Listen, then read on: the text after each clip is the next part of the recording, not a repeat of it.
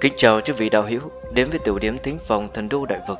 Mời quý vị nghe tiếp bộ truyện qua ngầm chi ngoại, tác giả Nhĩ Căn, chương 789 trước mặt thần linh không có bí ẩn.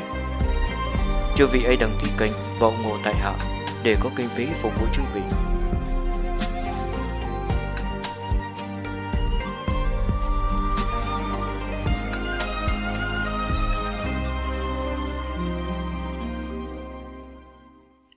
Lúc này, tâm tình của tên tu sĩ bộ dáng trường quỹ như có sông to gió lớn động trời. Một màn vừa rồi khiến cho đầu óc của lão nổ vang. Lão từng nghe nói qua phương pháp ngược dòng thời gian, nhưng đó càng giống như là hồi tưởng lại gì hơn, chỉ có thể nhìn, chứ không cách nào chân chính thay đổi. Với cả cũng cần đại năng quy hư mới có thể làm được. Nhưng bây giờ, rõ ràng lão đã dùng hết tất cả thủ đoạn tự sát mình biết, bộc phát kịch độc, kích hoạt cấm chế trong thân thể, đốt cháy linh hồn, Dựa theo lời lẽ bình thường mà nói, hiện giờ lão đã chết, đồng thời cũng không còn dấu vết. Nhưng hứa thành chỉ giơ tay lên thì tất cả đã nghịch chuyển. Thời gian của lão thay đổi, ngược dòng quay trở lại bảy nhịp thở trước. Mà hình ảnh khủng bố hiện ra phía sau hứa thành cũng khiến cho linh hồn của lão run rẩy, thậm chí hai mắt cũng cảm thấy đau đớn. Điều này sao có thể? Lão trưởng quỹ hoàng sợ, nhanh chóng lùi lại, muốn một lần nữa tự sát nhưng hiển nhiên bây giờ đã quá muộn. Hứa Thành bước ra một bước, thân hình lập tức đến trước mặt lão, giơ tay phải lên, tóm vào cằm của lão, khẽ rung một cái, toàn bộ túi độc một lần nữa xuất hiện trong hàm răng của lão bị chóc ra, sau đó từ trong miệng phun ra ngoài.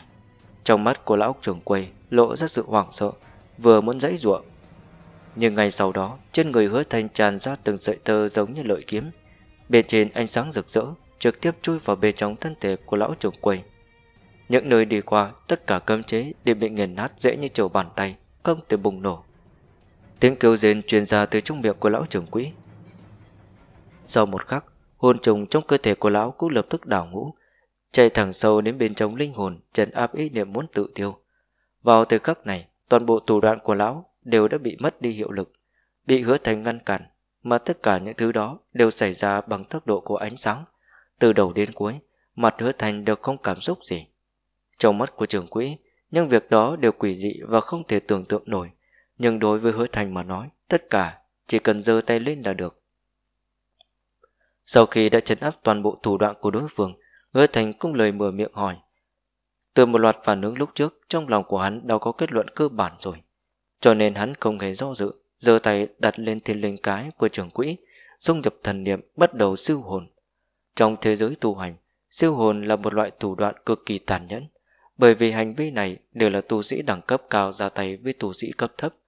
Thế nên dưới tình huống cưỡng chế tiếp xúc, người bị siêu hồn nhẹ thấy linh hồn ảm đạm, nặng thì trực tiếp hồn phi phách tán.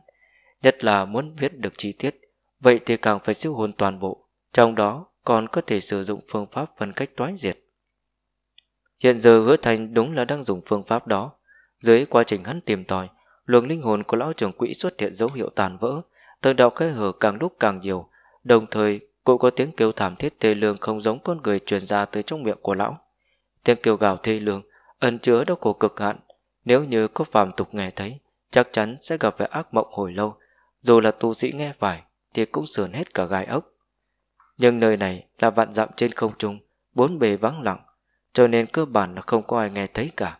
Chỉ có hứa thành, hắn từng chút toái diệt linh hồn của lão trưởng quỹ, tra xét tất cả ký ức, trong đầu của hắn cũng dần dần hiện ra cảnh tượng cả đời của lão trưởng quỹ. Lai lịch và thân phận của đối phương cũng rõ ràng, nhưng bởi vì quá mức va tạp nên hứa thành không quá quan tâm, chỉ khẽ quét qua, trọng điểm hắn nhìn vào nửa tháng trước. Rốt cuộc, hắn thấy được cảnh tượng muốn biết. và hơn nửa tháng trước, bên trong một chỗ nhà dân bí ẩn, có thân ảnh cùng với lời nói của người mặc hắc bảo. Nhưng vào lúc hứa thành muốn xem xét cẩn thận và cụ thể hơn thì cảnh tượng tàn biến, Linh hồn của lão trưởng quỹ hoàn toàn bị toái diệt, không còn tồn tại, chỉ còn lại có một cỗ thân thể bại liệt cổng nhúc nhích. Hứa thành hơi nhíu mày lại. Hồn của người này trời sinh có chỗ thiếu sót, không thể nào thừa nhận mức độ siêu hồn quá mạnh.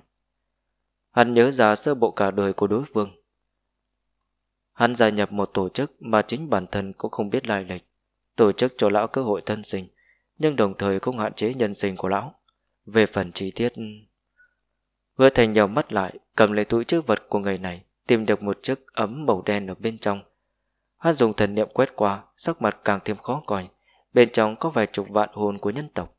Trong mặc một lát, thân thể của hắn thoáng qua, tan biến ngay tại chỗ, đi tới mấy vị trí trong trí nhớ của đối phương.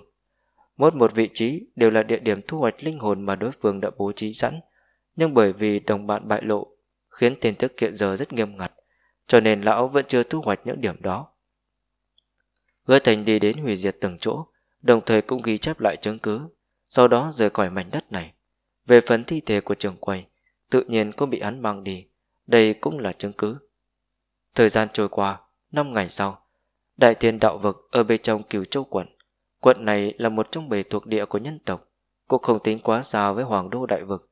Cho nên sau khi hứa thành công tiếc cây ra lớn bày nhanh, dùng truyền tống trận, hắn tốn thời gian 5 ngày để đi đến nơi đây. Lúc đến thì đã là đêm khuya. Trên đường đi tới Hoàng Đô lúc trước, hứa thành cũng đã từng đi ngang qua nơi này, nhưng cũng không ở lại quá lâu, mà đã mở cổ truyền tống trận rời đi. Bây giờ trở về, trong lòng của hắn trần ngập sát ý. Ngay khi đi ra khỏi truyền tống trận, thân ảnh của hắn lập tức tàn biến, bay nhanh về phía chỗ hồn trùng đã khóa chặt. Ba người lúc trước, một người bị quận trưởng của tiên trước quận giết, một người bị hứa thánh tiêu diệt, còn người cuối cùng thì ở ngay đây. Có lẽ người ngoài khó có thể tìm kiếm chỗ ẩn thân của đối phương, nhưng trong mắt hứa thành, sau khi dung hợp hồn trùng của bản thân, tung kích của đối phương đã rõ ràng. Nếu như muốn thành lý môn hộ, tìm ra kẻ đứng sau màn, dĩ nhiên phải diệt cỏ tận gốc. Đồng thời, hắn cũng cần siêu hồn một lần nữa, xác định người mặc khắc bào từng xuất hiện ở bên trong nhà dân. Hồn trùng của đối phương dừng ở chỗ đây mấy canh giờ không nhúc nhích. Trong đêm đen, thân ảnh của hứa thành tuấn gì bên trong cứu châu quận. Sau nửa canh giờ, hắn xuất hiện ở bên trên một mảnh dân mạch. Thảo mắt nhìn, cả dân mạch chìm trong một mảnh đen tối. Chỉ có tiếng chim thú thi thoảng truyền ra, lại có một chỗ gió thổi qua cỏ cây, dấy lên âm thanh xào xào. Trừ những thứ đó ra, bốn phía vô cùng yên tĩnh. Hắn đảo mắt qua, thân thể mơ hồ, bay nhanh. Ngay sau đó, lúc thân này của hắn hiển lộ rõ ràng, thì đã ở chỗ sâu trong sân mạch, bên ngoài là một tòa động quật thiên nhiên. Hắn nhíu mày lại, trên đường hắn đến, hắn đã cảm nhận được không bình thường. Lúc này đứng ở đây, cảm thụ đó càng thêm rõ ràng. Trong mắt lóe lên hàn mang, giờ tay phải lên vùng xuống, cấm chế ẩn giấu trong động quật lập tức bị dị chất của hắn tràn ra ăn mòn, mất đi tác dụng. Trong thoáng chốc, hứa thành lại xuất hiện ở bên trong động quật. Trên mặt đất có một tòa pháp trận đang vận hành, bên trong đó nằm một người. Người này là một nam tử trung niên, sinh cơ bừng bừng nhưng lại không nhúc nhích. Trên thân không có y phục, ở bụng đang ngọ nguậy, hồn trùng ở bên trong. Trên mặt đất ở bên ngoài trận pháp còn đặt một khối ngọc giản. Hứa tay nhìn qua cả người và trận pháp, lại đưa mắt nhìn ngọc giản. Sau khi đảo qua thần niệm, xác định không có gì đáng ngại. Hắn giơ tay chụp lên ngọc giản. Ngay khi xem xét, bề trong ngọc giản này vang vọng một giọng nói tang thương. Bất kể người tới là ai, có thể tìm tới nơi đây, nói rõ người cũng tương tự như ta, đều là vì truy xét về đạo chủng của dị tiên lưu, ta đã hỏi ra đáp án. Về phần người này, bởi vì không thể nào thừa nhận siêu hồn, đã ở trong trạng thái tàn vỡ, nhưng bởi trận pháp của ta gia trì, hồn của đối phương không có hoàn toàn tiêu tán, thế nhưng không kiên trì được bao lâu, người đến có thể tự mình xem xét. Hứa thanh trầm mặc, sau một lúc lâu thì lạnh nhạt nói. Chút tài mọn, tiêu ảnh, tàn ra khắp nơi, phong tỏa phạm vi cực hạn của ngươi, mặc kệ ngươi dùng phương pháp gì, tìm ra người ở nấp ở đây. Lời của hứa thanh vừa nói, cái bóng ở dưới chân của hắn lập tức tăng vọt, truyền đi cảm xúc nịnh nọt, sau đó nhanh chóng lan tràn, bao phủ toàn bộ sơn mạch, càng là không ngừng khuếch tán ra bên ngoài. Trong phạm vi đó, tất cả chim thú trong khoảnh khắc rung động lắc lư, bị cái bóng đoạt giá điều khiển tất cả. Hứa thành nhìn người ở dưới mặt đất, hắn không tin lời nói trong ngọc giản. Hắn càng tin tưởng có một loại khả năng khác, đó là người mà hắn đang tìm kiếm, hẳn là có thủ đoạn thần bí, có thể lấy hồn trùng của mình đặt ở trên thân người khác, từ đó tiến hành vết dầu thoát xác. Khả năng thủ đoạn không phải chỉ vừa nhắm vào hứa thành, dù sao đối phương cũng không biết hứa thanh tồn tại, như vậy thì thủ đoạn đó nhằm vào người hoàng đô điều tra việc này. Thế nên đối phương đã cố ý để lại ngọc giản, tỏ ra thần bí. Về phần lấy ra hồn trùng như thế nào để không bị hứa thành phát hiện, đó là một điểm quan trọng, nhưng thật ra cũng là một biện pháp.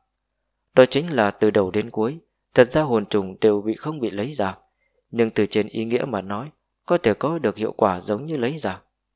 phần thần Hứa thành nhìn thấy người hôn mê ở dưới mặt đất, trong mắt lóe lên hàn mang. Nếu ngay từ đầu, chính là một cỗ phân thân dung hợp đạo trùng mà bản thể đi theo phân thân cùng nhau di chuyển, vậy thì có thể tạo ra loại cục diện nhìn như hoàn mỹ trước mắt. Mà kẽ hở của việc đó cũng giúp cho hứa thành đoán được trọng điểm, bởi vì không có người nào có thể tìm tới nơi này nhanh hơn hắn. Cho nên dựa theo kế hoạch của người nọ, nếu thật sự có người tìm tới đây, vậy cỗ phân thân đã sớm tử vong, trận pháp cũng sẽ có nói rõ tất cả. Coi như là dùng thuật xem xét lại thời gian thì cũng không có dấu vết nào. Kẻ đó đúng là đã lục soát hồn của phân thân, cũng bố trí ra trận pháp để duy trì hồn của phân thân hoàn toàn không bị tàn vỡ. Phân thân cũng đã sống một đoạn thời gian. Chỉ là người điều tra đến chậm mà thôi. Trong mắt của Thành lộ ra sự trầm ngâm, hắn hiểu được nếu như phán đoán trên là chính xác, vậy thì mình tới nhanh như vậy cũng là sự tình mà người nọ không thể nào đoán trước. Mà dấu vết ở chỗ này cũng chứng minh đối phương chỉ vừa mới bố trí công lâu mà thôi. Có phải như vậy hay không thì cứ thử là biết. Hồn tì trong cơ thể của hứa thanh bùng nổ, nhanh chóng đan dệt từ phía sau của hắn, tạo thành thần linh thái tầng thứ ba. Trong tiếng ngầm mầm, thiên địa biến sắc, gió dục mây vẩn, một thân ảnh cùng bố xuất hiện ở sau lưng hứa Thanh sau đó dung hợp cùng với hắn, hóa thành nhất thể. Như thần linh phủ xuống, khiến cho bốn phương mơ hồ, dị chất bộc phát khiến cho vách đá của động quật khó có thể thừa nhận xuất hiện phân giải. Vào thời khắc này, bốn phía thay đổi bộ dáng, thần núi đã thành nấm bồ, cỏ cây đã thành hải cốt, hang động đã trở thành một cái đầu lâu cực lớn. Cảnh tượng này vừa là hư ảo cũng là chân thật, khiến cho người ta khó có thể nhìn ra bộ dáng của thế giới trần chính. Mà trong mảnh mơ hồ này xuất hiện một thân ảnh, tóc dài màu tím chạm sát đất, tà dị kinh người. Bên ngoài xương cốt như thủy tinh là vô số tơ máu lượn lờ hình thành huyết nhục. Càng khuếch tán tản ra chung quanh, nhìn thấy mà giật mình. Còn có lùng vũ, cũng bằng huyết nhục màu tím hình thành đôi cánh khổng lồ, phía sau bay lên một vòng tử nguyệt, càng có vị cách đáng sợ tràn ra, chính là hứa thành. Lúc này, thần đi đến trước trận pháp, giơ tay chụp xuống mặt đất, người hôn mê lập tức bay tới, chụp lên thiên linh cái. Lần này không phải là siêu hồn, mà hứa thành muốn dùng lực lượng vị cách hiện giờ xem xét sợi tơ sinh mệnh của người hôn mê, từ đó tìm kiếm tới bản thể của đối phương. Về phần để cho cái bóng tản ra bên ngoài là sự đối phương ẩn thân ở gần đây chấn kinh phát hiện, lập tức truyền tống rời đi. Vết tích sinh mệnh, mở. Thần âm kinh thiên. Chương 790, manh mối bất ngờ.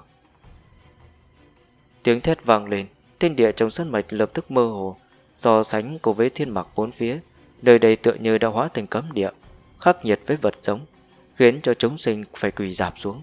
Tất cả cỏ cây đều héo rũ, toàn bộ chim thú đồng loạt dị hóa, mà biên giới của mảnh mơ hồ đó vẫn còn đang lan tràn, xâm nhập về chung quanh. Những nơi đi qua, bộ dáng của thế giới phải thay đổi, giống như vén lên một tầng vải mỏng hư ảo, lộ ra bản chất bên trong. Từng nấm mồ nhấp nhô, vô số cỗ hải cốt không biết mục nát bao nhiêu năm, hợp thành thế giới trong mắt của hứa thành. Bấy giờ, Hắn đang đứng ở bên trong một cái đầu lâu thật lớn, toàn thân tràn ra khí tức khủng bố, tóc tím phiêu động ở sau lưng, tơ máu tung bay khắp bốn phía. Hắn giơ tay phải lên, cách không chụp lên người nọ, thân thể xuất hiện vặn vẹo. Từng trận lầm bầm đến từ hư vô vang vọng trong thiên địa. Trong khoảng thời gian ngắn, bầu trời nổ vang, đại địa chấn động.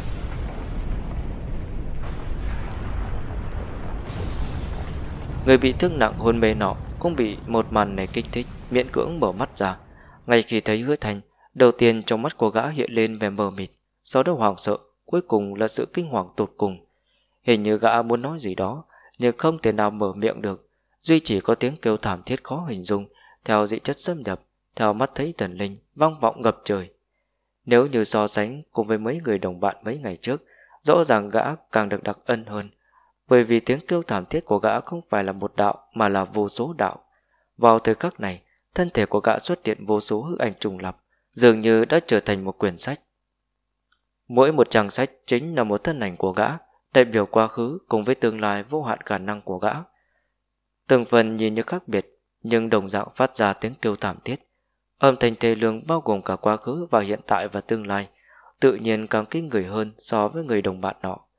Mà hứa thành trong thần linh thái, ánh mắt bình tĩnh, lúc này thần tính ở trên người của hắn tăng vọt, nhưng bởi vì nguyên nhân hồn ti, cho nên nhân tính cũng không hề tiêu tán, ở vào một loại trạng thái tương đối ổn định. Trạng thái đó giúp cho hắn dễ dàng dùng thần tính dựa theo ý chí của nhân tính, đưa ra nhiều lựa chọn. Ví dụ như dưới mắt, từ trên người hứa thành lan tràn ra vô số tờ máu, lập tức trôi nổi về phía trước, đâm tới trên người kêu thảm thiết nọ, giống như xúc tu, nhẹ nhàng lật qua lật lại quá khứ của đối phương. Từng bức tranh rõ ràng chiếu vào trong mắt hứa thành, hắn cũng nhìn thấy người đồng bạn đã chết của đối phương. Đây chẳng phải là siêu hồn, mà càng thêm trực tiếp hơn so với siêu hồn, bởi vì đây là năng lực của thần linh. Thông qua quá khứ của gã, hứa thành thấy được trọn vẹn cả đời của đối phương. Đối phương cũng tương tự như đồng bạn của mình, đều là linh hồn trời sinh có thiếu sót. Hình như tổ chức thần bí nọ rất thích thu nạp loại người này. Nhưng hiển nhiên thế phú của gã cao hơn so với đồng bọn. Bất luận là tu vi hay pháp thuật đều có chỗ xuất chúng. Hứa thành đảo mắt nhìn qua, tiếp tục xem xét, thấy được cảnh tượng mà mình muốn tìm.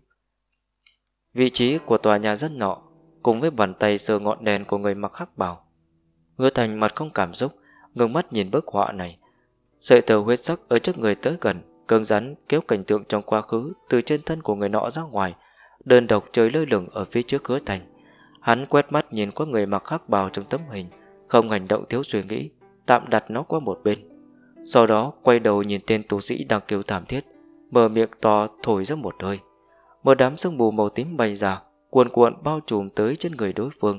Tiếp theo, trên đỉnh đầu của đối phương huyện hóa ra từng sợi tơ, lan tràn tới hư vô khắp nơi. Đó là toàn bộ những người tồn tại trong trí nhớ của gã, trong đó có một sợi tơ nằm ở giữa, đó là sợi tơ bản mệnh của gã. Phương hướng lan tràn của nó chỉ về phương Bắc, cách nơi này không quá xa. Quả nhiên là phân thân. Hứa Thành mở miệng giọng nói khàn khàn, khẽ gầy một cái, sợi tơ buồn mệnh đó lập tức lay động kịch liệt. Bản thể kết nối trong tăm tối của gã trực tiếp bị ảnh hưởng, mà bên chỗ cây bóng cũng căn cứ theo manh mối này để điều chỉnh phương hướng, thu nạp tân nỉ khuếch tán ra, rồi hóa thành một đường thẳng tắp, lấy một loại phương thức đó giúp tốc độ cùng với chiều dài của bản thân trở nên lớn hơn, lập tức lao qua. Cùng lúc ấy, vị trí cách hứa thanh gần ngàn dặm, một tu sĩ trung niên mặc trường bào màu cho đang bay về phía trước. Tướng mạo của người này bình thường, không có chỗ đặc biệt gì. Nếu như đứng trong đám người, rất dễ dàng bị bỏ qua. Hai mắt càng rất nhỏ, khiến cho ánh sáng âm u thi toàn lộ ra trong mắt của đối phương được che giấu rất kỹ càng. Lúc này, gã vừa bay nhanh vừa phân tích sắp xếp của mình. Mặc dù từ chân trình độ nhất định, sự bố trí của gã gần như hoạt mỹ, nhưng gã biết mình không thể coi thường bất kỳ ai, cho nên khả năng bị nhìn ra sơ hở là vẫn có. Nhưng đó cũng là chuyện sau này. Người mặc áo bầu trò lầm bầm trong lòng, tăng tốc muốn đi tới những quận khác của vực này, chuẩn bị thông qua truyền tống trận của dị tộc để rời đi, nhờ đó che giấu bản thân, chờ đợi mệnh lệnh tiếp theo của tổ chức. Nhưng vào lúc này, tâm thần của gã bỗng nhiên run lên, thế giới trước mắt có chút mông lung, dường như thiên địa đều lắc lư, linh hồn truyền tới cảm giác run rẩy vì hoảng sợ. Ngay sau đó, một giọng nói trực tiếp vang vọng trong linh hồn của gã. Quả nhiên là phân thần. Những lời nói đó khiến thân sắc của người áo bào trò đại biến. Ngay khi gã vừa muốn có hành động, thì một cỗ ràng buộc tới từ bên trong linh hồn bao phủ toàn thân, khiến cho thân thể của gã cứng đờ, trực tiếp rơi từ trên không trung xuống đại địa. Gã sợ hãi đến mức tận cùng, có lòng phản kích, nhưng bốn phía không có bất luận thân ảnh nào của địch nhân. Nhưng hết lần này tới lần khác, giọng nói trong đầu của gã lại vô cùng rõ ràng, ràng buộc đến từ đó cũng đang bộc phát. Chuyện gì thế này? Hô hấp của người mặc áo bào trò trở nên dồn dập, gã dùng hết sức lực dãy giụa ở bên trong quá trình rơi xuống, mãi cho đến khi thân thể ầm một tiếng đập vào trên mặt đất, gã phun ra một ngụm máu tươi, khôi phục một tia hành động. Gã lập tức nhảy lên, vừa mới định bỏ chạy, nhưng ngày sau đó, thân thể của gã trực tiếp cứng ngắc. Cái bóng ở dưới chân của gã mọc ra một con mắt màu đỏ, lộ ra sự tà ác. Tìm được người rồi. Trong động quật, hứa thành thu hồi tầm nhìn khỏi sự tơ bổn mệnh của người trước mắt, không để ý tới nữa. Nếu như đã bắt được bản thể, vậy thì hắn cũng dự định nếm thử một số thứ. Coi như là thất bại, thì cũng không ảnh hưởng tới thu hoạch của mình đã nhận được. Nếu như là có thể thu được một chút manh mối từ trong đó, vậy sẽ giúp cho chuyện này càng trở nên rõ ràng hơn. Vì vậy hứa thành nhìn thấy quang cảnh ở trong quá khứ được đặt ở một bên. Trọng điểm chú ý của hắn chính là người mặc hắc bào đang sờ tới ngọn đèn trước mặt. Hứa thành tập trung vào người này, ánh sáng của từ nguyệt phía sau phóng đại. Ngay sau đó, tất cả sợi tơ huyết sắc ngoài thân thể của hắn lao thẳng tới hắc bào nhân ở bên trong tấm hình. trong khoảnh khắc xuyên qua xung nhập vào trong đó, lấy quá khứ xác minh tương lai. Vào thời khắc này, lực lượng thần linh cơ bản là không gì không làm được, chỉ cần tồn tại ở trong trí nhớ, vậy sẽ bị phương thức đó gián tiếp ảnh hưởng.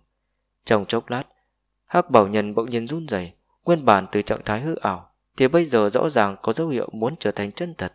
Trong quá trình đó, hứa thành thông qua ảnh hưởng của mình, thấy được bộ phận nhân sinh của người mặc hắc bảo.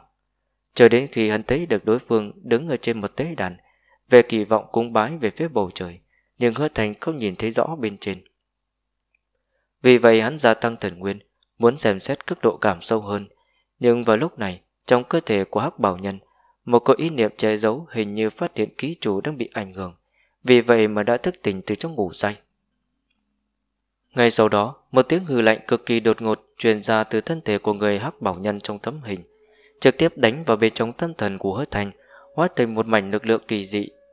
Dị chất bộc phát trong cơ thể của hắn. Mảnh lực lượng dị chất này lăng không hiện ra, càng tạo thành cảnh tượng hư ảo. Trong cảnh tượng, mây máu chảy xuôi, vô tận tiếng kêu rên, dị chất bốc lên, thiên địa u ám, dùng cái này để chấn áp hắn. Nếu như là tu sĩ khác, thì bây giờ nhất định sẽ bị ảnh hưởng, nhưng hiện giờ hứa thành đang ở trong thần linh thái, theo thần nguyên khuếch tán, hắn trực tiếp hình thành hư ảnh tử nguyệt trong tâm thần, chấn áp ngược lại. Theo tiếng chấn động, hứa thành trong thần linh thái hơi nhoáng một cái, lùi lại ba bước. Bên trong tâm thần, dị chất và cảnh tượng do tiếng hư lạnh biến thành, cùng lúc tiêu tán, nhưng uy áp của đối phương không hề tầm thường. Mặc dù không thể nào làm gì được hứa thành, nhưng lại tạo thành ảnh hưởng với nơi đây. Trong chốc lát, cảnh tượng quá khứ dùng làm đầu nguồn tàn vỡ sụp đổ. Về phần cỗ phân thân đang kêu rên thảm thiết, cũng hoàn toàn chấn động, hóa thành máu loãng. Thân thể và núi mồ tương tự sụp xuống. Trong một mảnh loạn thạch và hải cốt, hứa thành đứng ở nơi đó, chậm rãi ngẩng đầu nhìn lên bầu trời đêm trên cao, trong mắt lộ ra ánh sáng lạnh lùng. Đám dị chất xuất hiện từ tiếng hử lạnh, ta rất quen thuộc. Cảnh tượng do mảnh dị chất hình thành, ta cũng không xa lạ gì. Hiện giờ cuối cùng ta đã biết thứ mà hắc bảo nhân cúng bái trên bầu trời là cái gì. Dị chất đến từ thần linh tàn diện. Cảnh tượng cũng là một màn tàn diện thần linh mở mắt nhìn xuống thế gian. Thứ mà hắc bảo nhân cúng bái chính là tên thần linh tàn diện chó đẻ trên bầu trời. Trong lòng cửa thành vô cùng lạnh lùng. Khi còn ở Nam Hoàng Châu, hắn đã biết tới một tổ chức. Bọn họ cúng bái thần linh tàn diện, sung bái tàn diện, càng tự xưng là tín đồ. Sau khi đến hoàng đô đại vực của nhân tộc, hắn đã được nghe kể rõ về la giáo lý của đối phương. Ngoại trừ thờ phụng thần linh tàn diện ra, càng là không ngừng tìm kiếm cái gọi là thần tử. Sau khi tìm được, bọn họ sẽ sâu xé thôn vệ thần tử, dùng loại phương thức đó để bọn họ tiếp cận với thần mà bọn họ thờ phụng. Đồng thời, hắn cũng thông qua An Hải Công Chúa biết được, tổ chức đó không chỉ là một trong 10 thế lực siêu cấp của nhân tộc. Trong những tộc quần khác cũng đều là như vậy. Nó trải rộng khắp đại lục vọng cổ, gần như trong mỗi một tộc quần đều có giáo chúng. Trần lý trì ngôn Hứa thanh lầm bẩm thân thể chậm rãi biến hóa, thần linh thái tầng thứ ba dần dần tiêu tán, bốn phía hơi mờ, cùng với thế giới thay đổi cũng nhanh chóng mờ đi, cho đến cuối cùng khi bản thể hứa thanh hiện ra, tất cả đều lại khôi phục như bình thường. Chỉ có loạn thạch ở dưới chân chứng minh cho cảnh tượng lúc trước hoàn toàn chính xác đã xuất hiện. Cộng thêm tóc của hắn xuất hiện màu tím, hình như hiện ra thần linh thái tầng thứ ba đã tạo thành một chút ảnh hưởng đối với hắn. Cũng chính là ở vào thời điểm này, từ phía xa truyền đến tiếng rít, thân ảnh của người mặc áo bào cho nhanh chóng bay đến. Sau khi đi tới sau lưng hứa thành, biểu cảm của gã cuồng nhiệt, trên mặt lộ ra vẻ thành kính, nhưng trong mắt lại là sự hoảng sợ chưa từng có, quỳ bái ở trước mặt hứa thành, lớn tiếng nói. Vẫn an chủ nhân, ta có một câu đã muốn nói cùng với ngài từ rất sớm. Hôm nay mượn nhờ cỗ thân thể này để biểu đạt ra chân tâm của chính mình. Chủ nhân, ngài là một vị chủ nhân làm cho người ta phải kính ngưỡng, một vị chủ nhân tràn đầy trí tuệ. Trí tuệ cùng với tài năng của ngài khiến cho tiểu nhân cảm thấy rất tín nhiệm và đáng tin. Dưới sự lãnh đạo của chủ nhân, ta không ngừng phát triển và tiến bộ, cảm thấy an tâm, thư thái, yên lòng. Cái bóng lớn tiếng mở miệng nói, biểu cảm chân thành tha thiết, chỉ là ánh mắt không thuộc về nó, càng lúc càng hoảng sợ. Trong đêm tối, hứa thành đứng ở phía trước, tóc dài một tím nhạt phất phới theo làn gió, thân đành áo bầu trò quỳ sâu lưng cuồng nhiệt lễ bái. Đi thôi, quay về hoàng đô. Hứa thành bình tĩnh mở miệng nói, cất bước tiến về phía trước, đi xa trong bóng đêm. chương 791, tập trung ngọn nguồn. Thời gian trôi qua, cái buổi luận đạo giữa dị tiên lưu và dung thần lưu ước chừng chỉ còn có một ngày. Trong khoảng thời gian này, hoàng đô của nhân tộc nhìn như bình tĩnh. Nhưng trên thực tế, theo quận trường của thiên chiếu quận, đưa khối đạo trùng làm bằng chứng tới, một trận phong bạo sắp phủ xuống nơi đây. Vì vậy ngay khoảnh khắc bình tĩnh trước cơn bão, bầu không khí của hoàng đô có chút hỗn loạn, khó có thể nắm bắt. Tất cả mọi người đều đang chờ xem thế nào, chờ xem nhân hoàng làm gì, xem dị tiên lưu ra sao mà kể ở trong hay ở ngoài thái học, dị tiên lưu đều đứng ở trung tâm của phong bạo, càng bởi vì tòa tháp trắng bị phong ấn, cho nên chẳng cảnh náo nhiệt lúc trước tựa như phủ dung sớm nở tối tàn, lại trở về với bộ dáng xưa kia. Gần đây những người tu hành công pháp dị tiên lưu cũng đều cảm thấy dày vò, không dám để lộ thân phận của mình. Nhìn từ mặt ngoài, thế lực khắp nơi tựa như đều đang chờ đợi một đạo pháp chỉ của nhân hoàng. Có thể tưởng tượng, ngay khi đạo pháp chỉ này được truyền xuống, dị tiên lưu rất có khả năng sẽ rớt xuống ngàn trượng, quay về thế suy tàn, thậm chí còn không bằng ngày trước. Nhưng ít nhất, lúc trước khi suy tàn còn có thể nói do thời đại đào thải, nhưng nếu như bây giờ liên quan tới việc rút hồn mấy trăm vạn nhân tộc để tu hành, lại còn bị đặt ở trên bàn, bị toàn bộ nhân tộc chú ý, như vậy đây là tội lớn trong nhân tộc, nhất là hình như chứng cứ vô cùng xác thực. Cho đến một khắc, ngày ước định so đấu giữa dung thần lưu và dị tiên lưu, pháp chỉ của nhân hoàng mà vạn chúng chờ đợi, rốt cuộc đã được truyền ra từ trong hoàng cung. tam giải phong ấn tháp trắng của dị tiên lưu, đồng ý luận đạo tự chứng minh cùng dung thần lưu. Đạo pháp chỉ này để cho rất nhiều người ngoài ý muốn, đồng thời cũng nằm trong dự liệu của rất nhiều người. Dị tiên lưu đã tồn tại năm tháng lâu đời, thời gian thái học thành lập chính là con số tuổi của lưu phái này, mà từ xưa tới nay, tu sĩ nhân tộc tu hành phương pháp của dị tiên lưu cũng rất đông đảo. Mặc dù hậu kỳ suy tàn, nhưng trong năm tháng dài đằng dặc, từ sớm dị tiên lưu đã tồn tại ngàn vạn liên quan cùng với thế lực nhân tộc khắp nơi, cũng có được hương hỏa mà rất nhiều người ngoài không biết được. Có thể tưởng tượng, đạo pháp chỉ này vừa truyền ra, nhất định ẩn chứa nhiều phương đánh cờ. Nhưng đây là sự tình dưới mặt bàn, chỉ người không tầm thường mới có thể biết được. Nói tóm lại, hương hỏa mà dị tiên lưu tích lũy từ lúc thành lập đến nay, cuối cùng đã đổi được một cơ hội vào thời khắc mấu chốt này, một cơ hội chứng minh bản thân trong sạch. Vì vậy, vào một ngày trước khi luận đạo, vào lúc hoàng hôn, ở bên trong thái học, đại môn của tòa tháp trắng dị tiên lưu chậm rãi đẩy ra. Cuối cùng lưu chủ bị rốt ở bên trong đã được tháo bỏ niêm phong, thân ảnh xuất hiện ở trước cửa. Nửa tháng này, bây giờ rõ ràng ánh mắt của lão càng thêm tang thương hơn một chút, lão đứng ở đó. Im lặng nhìn qua con đường trong thái học, mà học sinh ở bên trong thái học chú ý tới cảnh tượng này, cũng đều lựa chọn đứng ra xa nhìn xem. Vẻ mặt của mỗi người phức tạp, có chán ghét cùng cảm khái, cũng có phẫn nộ và do dự đủ loại suy nghĩ hỗn tạp, mỗi người khác nhau. Hồi lâu sau, lưu chủ xoay người, ngồi trên hành lang trong tháp trắng, lặng lẽ chờ đợi. Thời gian dần trôi qua, không có bất kỳ học sinh của dị tiên lưu nào xuất hiện. Ánh mắt của lưu chủ cũng dần dần chậm rãi ảm đạm, duy chỉ có chỗ sâu, ẩn giấu một ngọn lửa không cam lòng đang không ngừng thiêu đốt. Cùng lúc đó bên ngoài thái học, hoàng hôn trôi qua, đêm tối phủ xuống, gió lạnh gào thét lướt qua đại địa, giống như ngâm, như khóc, như tố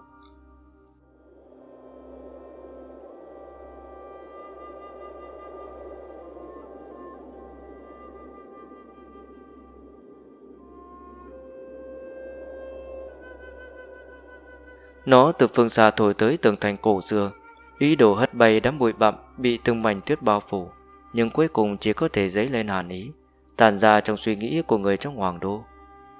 Nhìn như thi nhân cổ xưa dùng câu thư bi thương để kể lại lịch sử của thiên địa, lại như một người vô tình đứng xem bên ngoài, lặng lẽ ghi chép hương suy của thế gian. Mà thời khắc này, trong đêm khuya gió lạnh, một thân ảnh như mực dung nhập vào bên trong câu thơ. Thân ảnh mơ hồ được gió cuốn vòng quanh, bay nhanh tới gần chỗ nhà dân nằm cách phủ đệ của đại hoàng tử không xa. Đêm tối che giấu thân ảnh, gió lạnh ẩn nấp khí thức. Tất cả mọi thứ khiến cho thân ảnh trong lúc im ơi lặng tiếng đó đã xuất hiện ở trong sân của căn nhà dân nọ chính là hứa thành chạy về hoàng đô. Hắn đứng ở trong sân, cảm giác bốn phía. Người mặc khác bào ẩn tàng chân lý trì ngôn trong linh hồn, tuy bị hứa thành dùng thần thuật lấy được một góc nhân sinh, nhưng bên trong chỉ có một góc đó. Có cảnh tế đàn cùng với đối phương cúng bái, về phần bộ dáng hắn không thể nào thấy được. Hắn chỉ biết chắc chắn đối phương là người của chân lý tri ngôn, mà thông qua hắn xem xét hai tên học sinh dị tiên lưu nọ. Về sau chuyện này, ngoại trừ chân lý chi ngôn ra, còn có người thuê xài khiến khác. Đương nhiên, cũng có thể hai chữ người thuê, chỉ là cố làm ra vẻ huyền bí. Còn nữa, trong lúc ta dùng hồn ti gián tiếp xung nhật người mặc hắc bào nọ, không chỉ dị chất ẩn giấu ở bên trong thẩm luyện truyền tới, làm cho ta có cảm giác quen thuộc. Ngay cả tiếng ngừ lạnh của đối phương cũng để cho ta có cảm thấy quen.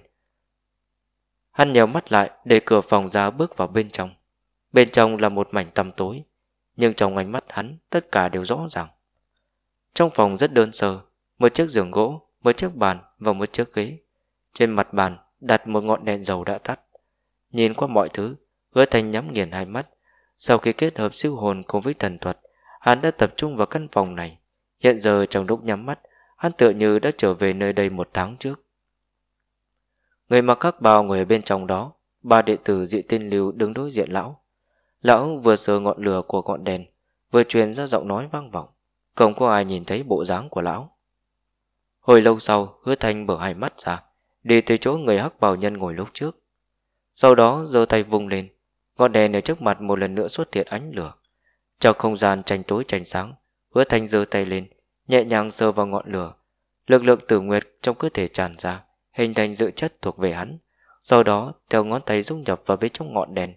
Thời gian dần qua, ngọn lửa của ngọn đèn lay động kịch liệt. Chất liệu cũng dần dần bị ảnh hưởng, cho đến sau cùng lại xuất hiện một tia dấu hiệu hoạt hóa. Cũng giống như là lực lượng của thần linh. Dị chất có thể xâm nhập vạn vật, tương tự cũng có thể sinh ra mức độ hoạt hóa nhất định. Đây cũng là nguyên nhân tại sao sau khi thần linh toàn diện đến, đại lục vọng cổ đã xuất hiện rất nhiều chủng tộc mới. Đồng dạng cũng là hạch tâm xuất hiện cấm khu. Như cấm khu gần doanh địa thập hoang giả mà hứa thành từng ở lúc trước, chính là do một cây đàn tranh bị hoạt hóa gây ra. Mà bây giờ, hứa thành đang dùng biện pháp đó, hắn muốn cho ngọn đèn dầu này bị hoạt hóa. Bên trong căn phòng này, đúng là không có ai từng thấy gương mặt của người mặc khác bào nọ, nhưng ngọn đèn này đã từng thấy. Thuật này, người thường không thể nắm giữ, giống như phương pháp lật tìm năm tháng, có lẽ hạng người đại năng dùng thần thuật đặc thù có thể mô phỏng, nhưng hiện giờ việc hứa thánh đang làm không phải tần linh thì không thể làm. Hồi lâu sau, ngọn đèn dầu càng ngày càng lay động mãnh liệt, sau đó cũng bắt đầu hòa tan và phân liệt, bên trong bọc ra từng chiếc xúc tu, chậm rãi chập chờn, thậm chí ở bên trên ngọn đèn còn chậm rãi hiện ra ngũ quan, giống như mọc ra khuôn mặt, nhưng rõ ràng cực kỳ bất ổn. Bấy giờ trong lúc rung động lắc lư lại xuất hiện khe hở. Hứa Thanh dừng ngón tay lại, bình tĩnh nói. Hiển lộ bộ dáng của hắc bào nhân một tháng trước người thấy, ra đây. Lời của hứa Thanh vừa nói ra, toàn thân của ngọn đèn rung dày kịch liệt, giống như đối với nó mà nói, giọng nói của hứa Thanh chính là pháp chỉ cao nhất, thế nên nó lập tức liều lĩnh phóng thích bản thân. Trong khoảnh khắc thôi, bản thân của ngọn đèn nhanh chóng hòa tan, ngọn lửa một lần nữa tăng vọt, cho đến sau khi bản thân ngọn đèn hoàn toàn biến mất, Bên trong hỏa diễm bốc lên lưu lại, hiện ra một khuôn mặt. Một gương mặt già nua trắng bệch, bình thường và lạ lắm. Trong trí nhớ của hứa thành, hắn chưa từng nhìn tới gương mặt đó.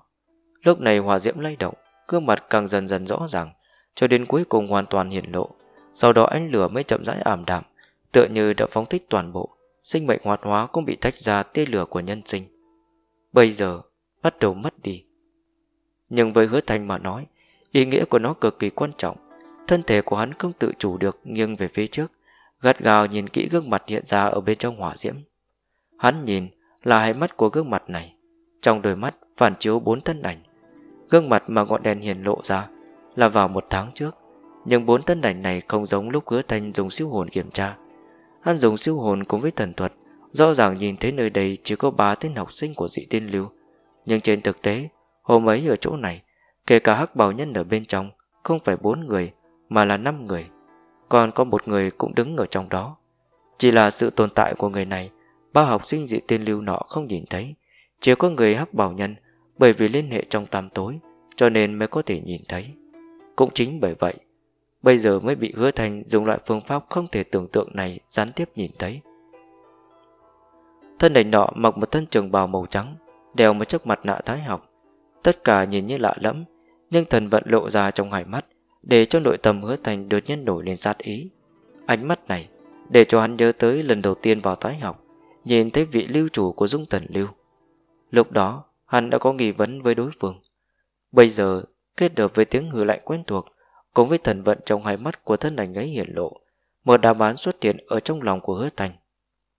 Lưu chủ dung thần lưu, là bạch tiểu trác.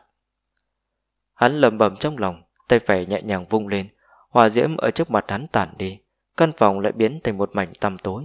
Sau đó hắn lạnh nhạt mở miệng nói. Nhìn lâu như vậy rồi, cũng nên hiện thân đi. Giọng nói của hứa thành vang lên ở bên trong căn phòng, sau mấy nhịp thở im lặng, một giọng nói khàn khàn truyền ra từ bên trong góc phòng. Không hổ là hứa vực tôn, chẳng những có thể tìm được chỗ này, còn có thủ đoạn kinh người như thế. Trong lúc nói, một người mặc hắc bào giống như đúc với hứa thanh nhìn thấy, hiện lộ ra từ bên trong hư vô của căn phòng đi ra. Hứa thanh quay đầu lại. Người không phải là người đó. Hắn bình tĩnh nói, kẻ trước mắt cùng với hắc bào nhân lúc trước, khí tức và cảm giác không giống nhau. Đúng là không phải ta, nhưng cũng có thể tương lai là sẽ phải. Hắc bảo nhân đứng tại chỗ, cẩn thận quan sát hứa thanh Về phần bộ mặt của đối phương là một mảnh mơ hồ. Gã nhìn rất nghiêm túc. Hứa thành tương tự cũng nhìn qua. Sau một lúc lâu, Hắc bảo nhân giơ tay vải lên, một khối ngọc giản bay ra, rơi ở phía trước hứa thành. Kẻ thuê là thất hoàng tử, bên trong là tất cả chứng cứ. Ta đã thu thập đầy đủ giúp người. Tiếp theo làm thế nào, tự người quyết định đi. Nói xong, gã quay người đi ra ngoài, thân ảnh dần dần mơ hồ. Hứa thành nghe vậy, trong lòng bốc liền sát ý. Không để ý tới Ngọc Giản mà nhìn qua thân ảnh hắc bào nhân dần dần biến mất. Sau khi suy đoán đối với thân phận của đối phương, hắn bỗng nhiên mở miệng nói. Có thời gian, trở về thăm đinh viêm đi. Lời này vừa ra, thân ảnh hắc bảo nhân mơ hồ giống như khẽ chấn động, quay đầu lại liếc nhìn hứa thành, cuối cùng hoàn toàn tản đi. chương 192 Luận đạo Thái học Bên trong căn phòng, theo hắc bào nhân rời đi, xung quanh lại trở về yên tĩnh. Hứa thành cầm lên ngọc giản trên bàn, dung nhập thần niệm rồi chậm rãi xem xét. Sau một lúc lâu, trong mắt của hắn đổi lên hàn ý nồng đậm, ngẩng đầu nhìn qua đêm tối ở bên ngoài cửa sổ. Lúc này, rất lạnh cũng đã thấm vào bên trong trời đêm, trở thành một cây bút. Lại lấy gió đêm làm bút vẽ, lấy yên tĩnh làm vận, lấy vũ trụ vô tận làm giấy, lấy tinh quang của vẽ ánh trăng làm mực, vẽ ra một bức họa quyền tảng sáng trước bình minh. Thân ảnh của Thanh dần dần mơ hồ ở bên ngoài bức họa quyền, cuối cùng tan biến không còn tung tích. Lúc xuất hiện, hắn đã đi tới con đường ở bên trong bức tranh, cất bước đi xa, tiến về phía Thái học. Hắn nghe nói, trận luận đạo giữa Diệt Tiên Lưu và Dung Tần Lưu vẫn tiến hành bình thường, mà tối nay, tháp trắng của Diệt Tiên Lưu đã được cởi bỏ niêm phong. Bây giờ theo hắn đi về phía trước, phía sau quán, ánh dạng đồng chậm rãi vạch phá màn đêm đen tối. Một đạo ánh sáng xé rách bóng tối, mang đến hy vọng mới cho thiên địa. Nhìn như tất cả đều đang thức tỉnh, nhưng tất cả một lần nữa bắt đầu lại. Cũng như tòa tháp trắng của dị tiên lưu trong thái học lúc này. Trong tòa tháp trắng, lưu chủ của dị tiên lưu một thân một mình, lặng lặng ngồi ở đó cả một đêm. Lão nhìn qua màn đêm dần dần nhạt đi bên ngoài, nhìn qua ánh sáng bàn mài chiếu xuống, và nhìn qua một thân ảnh hiện ra trong đó. Thân ảnh ấy dẫm đến đánh sáng bàn mài, từng bước một đi vào bên trong tháp trắng. Lưu chủ. Hứa thành không người, nhẹ giọng mở miệng nói. Ánh mắt của lưu chủ dị tiên lưu nhìn thấy thân ảnh với ánh mặt trời chiếu ở trên lưng. Lão nhớ kỹ người đệ tử này, cũng nhớ rõ lúc đối phương gia nhập dị tiên lưu, khi đó dị tiên lưu còn trong giai đoạn suy tàn. Càng nhớ người đệ tử này, từng để cho lão cảm thấy rất có tử chất. Nhưng cuối cùng theo dị tiên lưu khôi phục và lớn mạnh, người có ti chất càng ngày càng nhiều, tự nhiên đối phương cũng mất đi sự chú ý của mình. Nhưng lão không ngờ sau khi dị tiên lưu cởi bỏ được phong ấn, hắn lại là người đầu tiên, cũng có lẽ là người duy nhất đến đây. Trong lúc thổn thức và cảm khái, hóa thành phức tạp lan tràn trong lòng của lão, hứa thành đi về phía giá để ngọc giản bên cạnh. Hắn tìm kiếm một chút ghi chép về dung thần lưu trong này. Đối với lưu phái lý niệm hoàn toàn không hợp cùng mình, tất nhiên dị tiên lưu có rất nhiều ghi chép. Nhất là lúc trước, Mặc dù tiểu báo phần lớn là bịa đặt, tin đồn thất thiệt, nhưng ít nhiều bên trong cũng ẩn giấu một chút đầu nguồn. Hứa Thành dự định xem xét cẩn thận toàn diện lại một chút, dùng điều này để xác minh phán đoán của mình, đồng thời ăn bài phương pháp hành động tiếp theo. Trong lòng của hắn, thất hoàng tử đã là người chết, mà mục đích của hắn không chỉ có riêng một mình thất hoàng tử. Bạch tiêu chắc. Hứa Thành lầm bầm trong lòng, đi tới bên cạnh giá đặt ngọc giản, bắt đầu tìm kiếm. Nhìn qua hứa Thành, Lưu chủ dị tên lưu muốn nói lại thôi, Chờ đến một lát sau, lão thở dài một tiếng, rồi chậm rãi nói. Huyền lôi tử, cả đằng sau ngày hôm nay sẽ không còn dị tiên lưu nữa rồi. Người có thể tự hủy bỏ thân phận đệ tử hạch tâm của mình, cũng có thể đào đạo trùng ra để tránh ảnh hưởng tới triển vọng tương lai. Nói xong, lão cầm một quả ngọc giản đặt ở một bên. Đây là bằng chứng giải trừ thân phận đệ tử hạch tâm. Làm xong những thứ này, lão đứng lên rời khỏi ghế ngồi, từng bước đi ra ngoài tháp. Sáng sớm đã đến, thời gian luận đạo cũng tới rồi. Nhìn qua chân trời phía xa, trong lòng của lưu chủ dị tên liều có chút thê lương. Lão không biết liệu vị tiền bối thần bí nọ có xuất hiện hay không. Cũng không biết vận mệnh tiếp theo của dị tiên lưu sẽ đi trên con đường nào. Nhưng bất luận ra sao, lão cũng là lưu chủ của dị tiên lưu thế hệ này. Vì vậy trong mắt của lão dần dần lộ ra ánh sáng cố chấp. Mặc kệ như thế nào, coi như là kết thúc, cũng không thể làm mất danh tiếng của dị tiên lưu. Sau khi suy nghĩ trong đầu như vậy, bước chân của lưu chủ dị tiên lưu càng thêm kiên định hơn, tiến về phía đạo đàn của tái học. Bên trong tháp trắng, hứa thân gần đầu nhìn qua bóng lưng của lưu chủ dị tiên lưu, sau đó quay đầu tiếp tục xem xét ngọc giản, cho đến khi xa xa truyền đến tiếng chuông vang. Học sinh ở bên ngoài những nước thủy triều, giọng nói nghị luận dần dần trở nên xôn xao. Lúc này, hứa thành mới bỏ ngọc giản xuống. Hắn đã tìm được đáp án mình muốn, vì vậy đi ra khỏi tháp trắng, dung nhập vào bên trong đám người chật trội bên ngoài. Nguyên bản một màn luận đạo giữa Diệ Tiên Lưu và Dung Thần Lưu rất được chú ý, thì hôm nay Dị Tiên Lưu còn gặp phải hạo kiếp, khiến cho trận luận đạo này càng được quan tâm cao hơn nữa. Nhất là nhân hoàng đặc biệt cho phép để luận đạo cứ thế tiến hành. Kể từ đó, trận luận đạo này không chỉ thu hút ánh mắt đến từ học sinh của Thái học, ngay cả thế lực khắp nơi ở bên ngoài hoàng đô, vào ngày hôm nay cũng đều dùng đủ loại phương pháp nhìn tới trong Thái học. Và về trong Thái học, nơi luận đạo chỉ có một chỗ, chính là đạo đàn duy nhất ở trung tâm Thái học. Phạm vi nơi đây rất lớn, đủ để dung nạp mấy chục vạn người. Vào rất nhiều năm trước, chỗ này từng tổ chức rất nhiều trận luận đạo cỡ lớn, mỗi lần đều tạo ra oanh động. Bây giờ nơi đây đông đảo học sinh, trên cơ bản thì tất cả học sinh ở Hoàng Đô đều đã đến. Âm thanh ngụy đoạn với nhau vang vọng, tiếng người huyên náo, mà ánh mắt của bọn họ phần lớn đều nhìn lên công trung. Giữa không trung, bất ngờ nổi lơ lửng hai tòa đạo đài bát giác cực lớn, một đen một trắng, phong cách cổ xưa trang nhã, giống như ngụ ý thuần khiết và cứng cỏi, mà kết cấu bát giác cũng thành căn bản của đạo đài, tượng trưng cho điểm giao hội giữa đại địa và bầu trời. Lúc này, ở bề trên hai tòa đạo đài cổ xưa giữa thiên địa truyền giao uy áp, càng có đạo vận lan tràn khắp bốn phương, hình thành từng mảnh hào quang.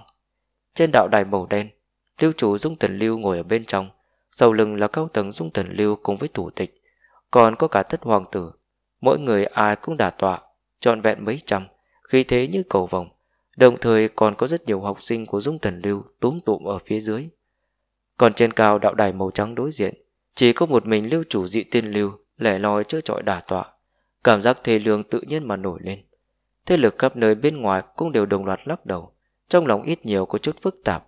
Dẫu sao vào nhiều năm trước, dị tiên lưu chính là đệ nhất phái trong thái học, nhưng hiện giờ... Tiếng thở dài vang lên trong lòng của rất nhiều người, cùng bao gồm cả học sinh của dị tiên lưu bốn phía ở bên trong thái học. Bây giờ những học sinh gia nhập dị tiên lưu này, từng người chỉ có thể im lặng. Hứa Thành cũng đứng ở trong đám người, hắn có thể cảm giác được bầu không khí ở chỗ này. Nhưng bây giờ trọng điểm của hắn là thất hoàng tử, cùng với lưu chủ dung tần lưu ở trên đạo đài. Hứa Thành bình tĩnh nhìn bọn họ. Hắn không lập tức sống ra vạch trần, mà đang đợi vở kịch lớn này diễn tới thời khắc mấu chốt. Hồi lâu, khi tiếng chuông thứ 9 truyền đến, thiên mạc của thái học đột nhiên chấn động. Từ điểm cuối của bầu trời đi tới hai đạo thân đành mặc trường bào màu trắng, một trước một sau, một già một trẻ. Lão già đi phía trước có vẻ mặt ôn hòa, từng đạo nếp nhăn ở trên mặt chính là bằng chứng của năm tháng, giống như dấu vết của dòng sông trí tuệ đảo qua. Mặc dù dáng người của lão không hề cao, nhưng khí chất cùng với nét cơ trí tăng trưởng theo tuổi tác thì lại càng tươi sáng rõ nét. Người này chính là phù chủ của Thái học. Phía sau lão, đó là Tam Hoàng tử với tư cách là phù thừa của Thái học. Bọn họ không đeo mặt nạ Thái học, tướng mạo hiển lộ trong mắt mọi người. Ngay khi xuất hiện, lưu chủ diện tên Lưu cùng với lưu chủ Dung Tần Lưu còn có toàn bộ học sinh ở chỗ này đều đồng loạt chắp tay cúi đầu. Bái kiến phù chủ Có thể được nhân hoàng khâm điểm trở thành phù chủ của thái học, dĩ nhiên là người đức cao vọng trọng. Điểm ấy bất luận là học thức thân phận hay là công hiến, vị lão già này đều có đủ.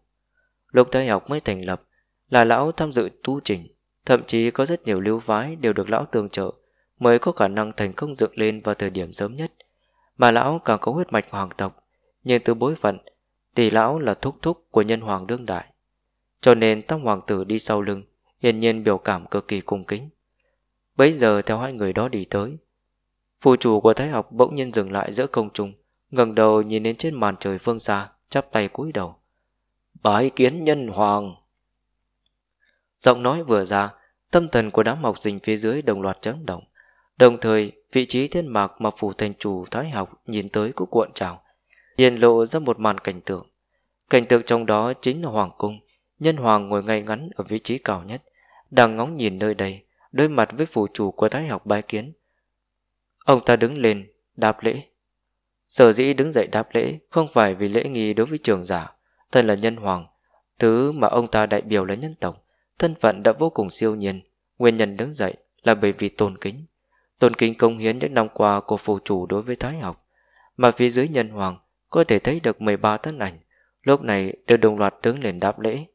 Mỗi một đạo thân ảnh đều tràn ra khí thức động trời. Hứa thanh chỉ nhìn thoáng qua đã có thể cảm thụ rõ ràng, đó là chấn động của uẩn thần. Thân phận của bọn họ không cần nói cũng biết, thiên vương đang trụ ở trong hoàng đô nhân tộc. Lễ xong, nhân hoàng ngồi ngay ngắn, đám thiên vương cũng vậy. Cùng lúc đó, phù chủ giữa không trùng thái học cúi đầu thu hồi ánh mắt, nhìn qua đạo đài của dị tiên lưu cùng với dung thần lưu, lại nhìn tới hơn 10 vạn học sinh phía dưới, trên mặt lộ ra nụ cười hòa ái. Đã lâu lão phù không chủ trì và chứng kiến thái học luận đạo rồi, ta rất vui mừng. Bây giờ bên trong thái học nhân tộc vẫn còn xuất hiện luận đạo. Luận đạo chia làm ba khâu, thiên đạo luận chính, nhân tâm luận ngụy, tiêu tịch luận dực. Cuối cùng phân thắng bại, không do liều phái quyết mà là các ngươi. Phù chủ thái học nhìn qua học sinh dưới mặt đất, chậm rãi mở miệng nói. Mỗi một người các ngươi đều có trí tuệ cùng với sự lựa chọn của riêng mình. Từ giờ trở đi, nhận thức ở trong lòng các ngươi chính là thứ chỉ ra thắng bại của luận đạo. Sau khi lời này truyền ra, trong khoảnh khắc tiếp theo, đạo đài bên dung tần lưu trực tiếp có một đạo hồng quang động trời dựng lên, trực tiếp chui vào bên trong bầu trời, ánh sáng vô cùng rực rỡ, khiến cho thiên mạc nổ vàng khi thế chấn động bát phương. Đạo hồng quang này tới từ tâm ý của học sinh phía dưới, mà loại quy mô cùng với độ cao như thế, đủ để chứng minh mức độ nhận thức trong lòng của học sinh thái học đối với dung tần lưu. Trái lại dị tiên lưu, hồng quang cũng có, nhưng chỉ có được ba trượng. So sánh cao thấp giữa cả hai, trình độ cách nhau quá xa, tranh lệch giống như trời với đất. Nhìn qua cảnh tượng này, thế lực khắp nơi bên ngoài đồng loạt trầm mặc. Bên trong thái học càng xôn xao, lông mày giữa mặt nạ của hứa thành cũng có chỗ nhíu lại. Giữa không trùng, phù chủ thái học cũng khẽ lắc đầu, nhưng mà luận đạo vẫn phải tiếp tục, vì vậy giọng nói khàn khàn của lão lại vang vọng. Hiện giờ thiên đạo luận chính, tất cả lưu phái của nhân tộc chúng ta trước lúc luật đạo, công pháp và tư tưởng của lưu phái cần được thiên đạo nhận thức mới có đủ tư cách luận đạo. Bên trong thiên đạo vọng cổ, 99 tuần viễn cổ ngủ say, nhân tộc ta khó có thể cảm giác, nhưng trong 10 vạn thiên đạo lớn nhỏ các phương, lúc vào đạo đàn thái học nhân tộc chúng ta mới bắt đầu thành lập, từng có 3.000 thiên đạo chúc phúc, vì vậy hiện ra ở nơi đây có thể để cho ba ngàn tiêu đạo cảm giác. Nếu như thiên đạo không công nhận, vậy không cần tiếp tục luận đạo, nói rõ lưu phái các người còn cần điều chỉnh. Cho nên dị tiên lưu và dung thần lưu, các ngươi tự mình lựa chọn có muốn tiến hành hay không. Trên đạo đài bầu đen, lưu chủ dung thần lưu truyền ra tiếng cười nhàn nhạt, nhạt. Học sinh của dung thần lưu. Lời này vừa nói ra, học sinh của dung thần lưu đồng loạt tràn ra ký thức trong cơ thể, hội tụ với nhau, bay lên phiên chế thiên mạc, huyện hóa ra một hư ảnh cực lớn. Hư ảnh này cao lớn kinh người, ba đầu sáu tay, toàn thân do vô số tồn tại thần thánh hợp lại mà thành, nhưng lại hồn nhiên tạo thành một khối, truyền ra khí thức không gì sánh kịp. Bốn phương vặn vẹo, tiên địa mơ hồ, tựa như thần linh chân chính vậy. Càng là theo lưu chủ dung thần lưu ngẩng đầu, thân ảnh cực lớn này giơ tay phải lên bầu trời, chợt xiết lại. Hư không đổ vang, âm thanh gầm bầm khiến cho thiên địa rung chuyển. Lưu chủ dung tần lưu đứng lên, cúi đầu với bầu trời. Mời tuyên đạo luận chính. Thiên mạc bị xé nứt, xuất hiện từng đạo khe hở lớn nhỏ. Những khe hở này lần lượt mở ra, hóa thành từng con mắt chán ra vẻ lạnh lùng, nhìn hư ảnh Dung Tần Lưu. Có thể, có thể, có thể.